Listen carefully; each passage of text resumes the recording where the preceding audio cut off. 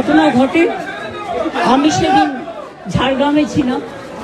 কিন্তু আমার কাছে যখনই কলকাতা পুলিশ কমিশনার খবরটা দেয় আমি সঙ্গে সঙ্গে তাকে বলি যে এটা খুব নক্কারজনক ঘটনা এবং খুবই বেদনাদায়ক ঘটনা। যেই জড়িত থাক তাকে ইমিডিয়েট শাস্তি দিতে হবে এবং আমরা চাই এই কেসটা ফাস্ট ট্র্যাক কোর্টে হোক। ফাস্ট ট্র্যাক কোর্টে হলে জুডিশিয়াল প্রসেসটা তাড়াতাড়ি হবে। এবং তাতে আমরা ফাঁসির দাবি জানাব। কারণ কিছু মনে রাখবেন, কিছু লোক এখনও সামাজিক অবক্ষয়ের মধ্যে আছেন।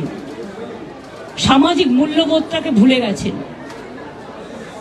মেয়েদের গায়ে হাত দেওয়া যে কত বড় অপরাধ, এবং তার সাথে যে অত্যাচার করেছে বা তাকে যেভাবে খুন করেছে। আমি আশ্চর্য হয়ে যাচ্ছি, ওখানে নার্সরা ছিলেন। ওখানে ওদের সিকিউরিটি ছিলেন। সবাই ছিল। কিন্তু কি করে ঘটনা ঘটলো, এটা এখনও আমি ঠিক বুঝতে পারছি না। পুলিশকে আমি বলেছি, বাবা মাও যেটা আমাকে বলেছেন, যে ওদের ভেতরেই কেউ আছে। যদি ভেতরে কেউ থাকে, কারও প্রতি সন্দেহ হয়, যারা ছিল, যারা ওর বন্ধু বান্ধব তাদেরকে সবাইকে ডেকে কথা বলবে। এবং যিনি ফোন করেছিলেন প্রথম বাড়িতে, তাকেও ডেকে কথা বলবেন আজকে প্রিন্সিপাল নিজে রেজিগনেশন করে দিয়েছিলেন। বলছিলেন যে, আমার বাড়িতেও তো বাচ্চারা আছে।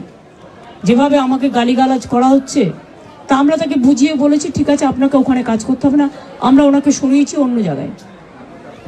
আমরা ওখানে এমএসভিপিকেও সরিয়ে দিয়েছি ডিউ টু নেগলিজেন্স আমরা হাসপাতাল থেকে হেড অফ দ্য ডিপার্টমেন্ট যে চেস ডিপার্টমেন্ট তাকেও সরিয়ে দিয়েছি।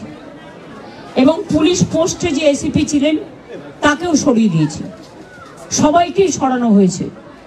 এবং ডগ স্কোয়াড থেকে শুরু করে ভিডিও থেকে শুরু করে ফরেন্সিক ডিপার্টমেন্ট থেকে শুরু করে, সবাইকেই ইনভলভ করা হয়েছে, যাতে খুনি গ্রেপ্তার হয় এবং দোষীরা শাস্তি পায়।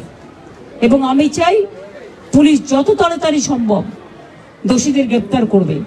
আর রবিবার পর্যন্ত যদি তারা কুল কিনারা করতে না পারেন, কারণ ভেতরেও তো অনেকে আছে, তাহলে এই কেসটা আমরা আমাদের হাতে রাখব না, আমরা সিবিআইকে দিয়ে দেবো। তার কারণ হচ্ছে আমার এতে কোনো পাওয়ার লেনা দেনা কিছু নেই।